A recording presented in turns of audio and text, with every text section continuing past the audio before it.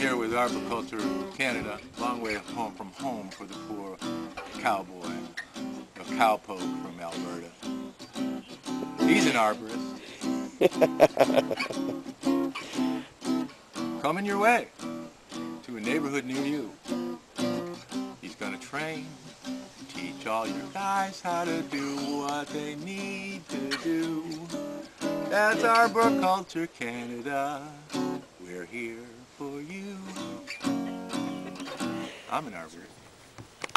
It's 2013 and we're at Elmhurst Resort!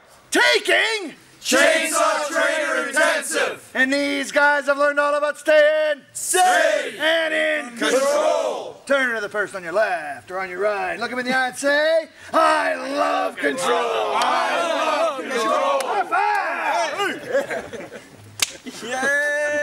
Gentlemen, we want everyone to know that we wish they were Here! right on.